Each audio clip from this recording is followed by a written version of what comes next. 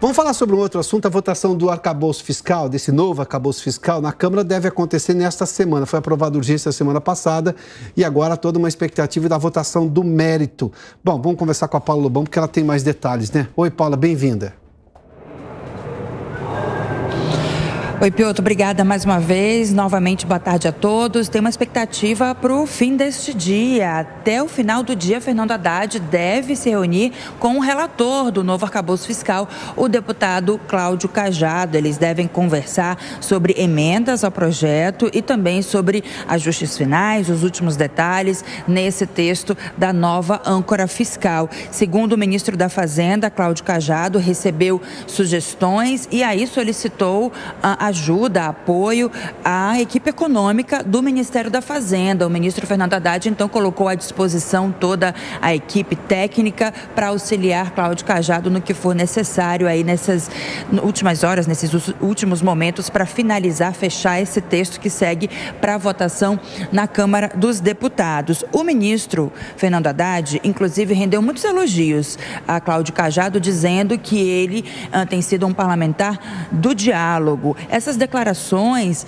uh, foram feitas pelo ministro Fernando Haddad hoje, quando ele retornava para o Ministério da Fazenda e conversava com jornalistas ali na frente do Ministério, depois que ele vinha de uma reunião com o presidente da Câmara dos Deputados, Arthur Lira, justamente para conversar sobre o novo arcabouço fiscal. O Fernando Haddad disse que encontrou um Arthur Lira muito animado e muito confiante em torno aí da votação do arcabouço fiscal desta semana. Disse que foi até Arthur Lira para agradecer todo o trabalho feito em conjunto em torno aí da construção desse texto do novo arcabouço fiscal e também foi até Arthur Lira para sentir o clima para esta semana. A gente até separou uma fala do ministro Fernando Haddad a respeito disso. Vamos ouvir agora o ministro. Nós vamos conversar com calma com, com o deputado Cajado, que tem feito um trabalho né, de ouvir as pessoas. Então vamos ver o que ele nos traz, mas eu senti o... Primeiro foi agradecer o presidente Arthur Lira, segundo, senti ele muito confiante.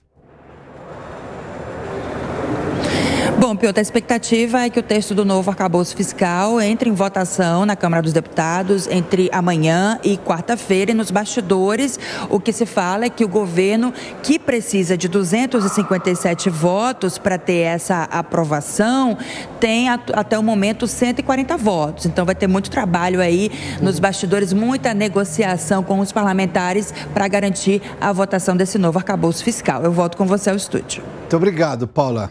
Deixa eu trazer o Nogueira aqui para a conversa. Nogueira, seja bem-vindo. Tudo bem, Piotr? Se o governo vai convencer os parlamentares no mérito ou negociar melhor o projeto de uma forma que o mérito fique melhor, tudo bem. Agora, se começar a ter troca de cargo e liberação de emenda, isso é compra de apoio parlamentar, isso é fisiologismo aí não tem nada de republicano nessa história. É, e vai custar caro para o país, né, Piotr? A gente sabe como temer essa Por história. várias gerações, inclusive. Exato, cabide de emprego em estatais, né? Aliás, por que, que o governo é contra a privatização da Eletrobras? Porque perdeu ali centenas de cargos importantes. Aliás, Piotr, o governo deveria focar energia em aprovar o arcabouço e a reforma tributária e não perder tempo com retrocessos econômicos coisas que deram certo nos governos anteriores, Michel Temer e Jair Bolsonaro, e o governo insiste em querer revogar. A gente preparou uma arte aqui para mostrar cinco retrocessos que estão assustando os empresários. Reparem aqui, olha só, reforma trabalhista, o ministro do Trabalho, o Luiz Marinho, insiste em querer rever a reforma trabalhista, que foi um ganho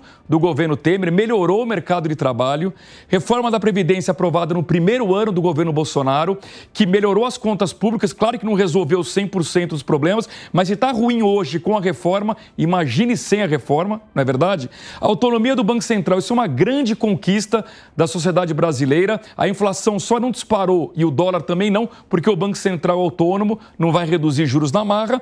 Privatização da Eletrobras, ainda Você bem que foi privatizada, cabide de emprego, e o marco do saneamento que o governo quer na marra reverter e colocar estatal nesse jogo que é tão importante para a população. E a história do retrocesso é que tudo isso aqui foi discutido com a sociedade e aprovado no Congresso Nacional. No caso das reformas, com votação de ida e volta. Dois turnos na Câmara, dois turnos no Senado, sem contar as comissões. O governo que chega agora, chega achando que pode mexer em tudo. Bom, o nome disso é insegurança jurídica. Né? Sem dúvida, os empresários ficam assustados e acabam adiando investimentos. E sem investimento, você não gera emprego. Sem emprego, você gera mais custo para o Estado para pagar seguro-desemprego e você não faz crescer a economia.